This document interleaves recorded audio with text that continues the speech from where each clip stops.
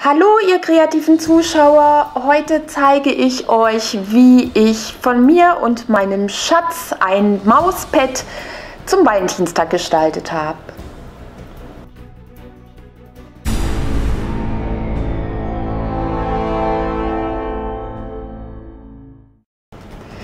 Erstmal habe ich ein Mauspad benutzt, was mir freundlicherweise die liebe Moni, eine Zuschauerin, geschenkt hat. Deshalb behalte ich das Mauspad auch für mich selber und schenke es nicht meinem Freund. Ich habe eine Farbpalette genommen und äh, natürlich auch zur Grundierung eine schöne weinrote Farbe.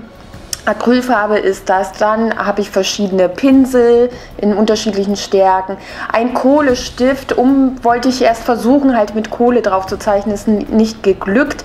Und äh, ja, ein Aquarellblock und dann geht es los. Viel Spaß bei meinem Video.